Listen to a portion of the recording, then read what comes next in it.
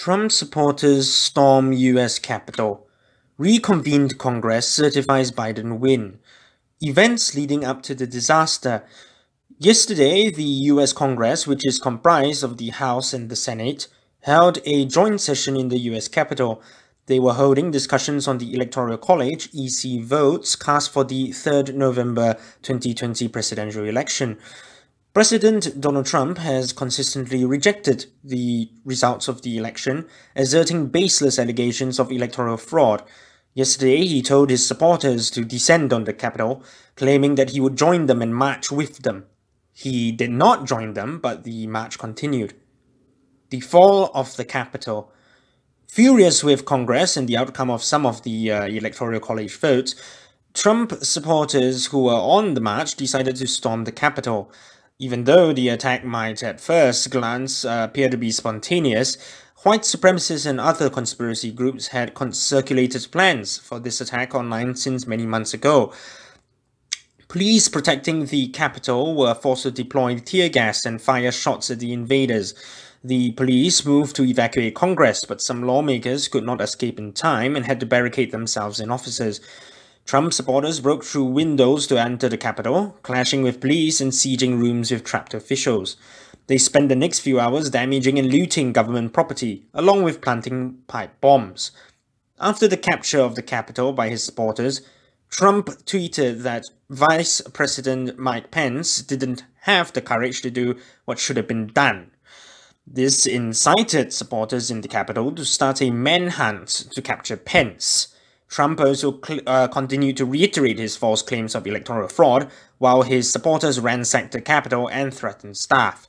His Twitter account was later suspended for half a day, forcing him to borrow his spokesperson's account. The police later regained control of the Capitol, arresting some Trump supporters in the process. The death toll stands at five, with one being a police officer who died after being struck in the head uh, by Trump supporters with a fire extinguisher. Defiant in the face of terror, the Congress reconvened with Vice President Mike Pence heading the Senate. Pence proclaimed that Trump's supporters had not won, as violence never wins. Pence had previously been pressured by Trump to overturn the EC votes and falsely accused, uh, sorry, falsely announced Trump as the winner even though Pence repeatedly reminded Trump that he does not have the constitutional powers to do so. Senate Majority Leader Mitch McConnell also said that the Senate would not be intimidated. He explained that he would not support overturning of EC votes, as that would destroy democracy. The Senate then oversaw the certification of President-elect Joe Biden's victory in the elections. Despite this, Trump-aligned Republicans still attempted to support Trump and dispute the results even after some of them had been personally endangered by his followers. Their objections were expectedly defeated with overwhelming majorities, however.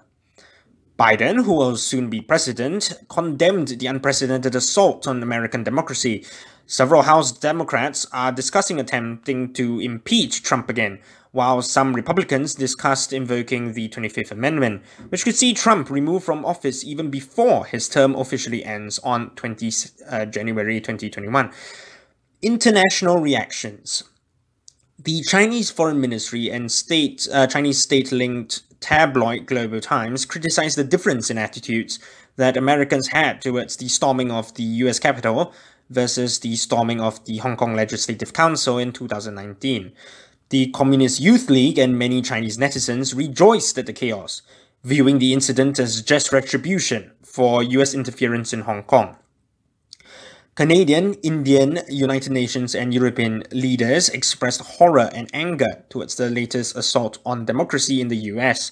German Chancellor Angela Merkel pointed out that Trump was responsible for fanning the flames of unrest.